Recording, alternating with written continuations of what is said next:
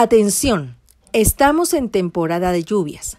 El boletín agroclimático le informa que, para proteger sus cultivos, animales y reducir las pérdidas, vacune y desparasite sus animales, siembre plantas forrajeras como alimento para ellos y examine constantemente sus cultivos y animales para detectar enfermedades.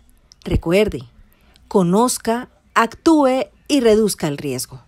Este es un mensaje del Ministerio de Agricultura y Desarrollo Rural y la Organización de las Naciones Unidas para la Alimentación y la Agricultura FAO.